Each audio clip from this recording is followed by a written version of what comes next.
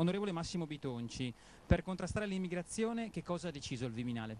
Beh, diciamo che il ministro Maroni non ci delude mai e quindi adesso ha già pensato a un decreto per risolvere questo problema dei rimpatri eh, contro le sentenze che ci sono state. Eh, è una soluzione che i nostri eh, militanti aspettano da tempo, ma non solo, tutti quanti i cittadini e questa è l'unica strada che bisogna perseguire. Eh, mano a mano che arrivano al nostro territorio bisogna subito temperare con i rimpatri e devono essere fatti con velocità e immediatezza. Può farci un esempio di quello che sta pensando il Ministro Maroni per quanto riguarda questo decreto?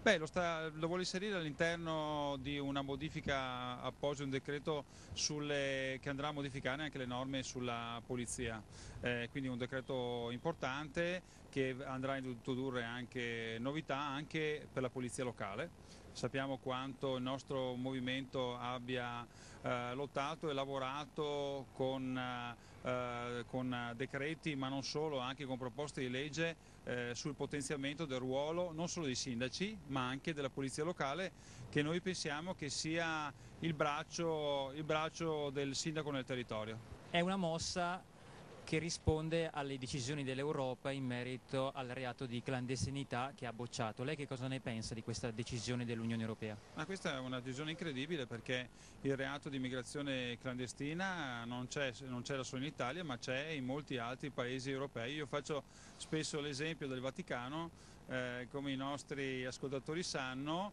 il Vaticano ha il reato di immigrazione clandestina. Abbiamo visto nelle scorse settimane come l'hanno fatto anche velocemente ottemperare eh, con i nomadi che si erano accampati all'interno delle, delle, delle sale vaticane.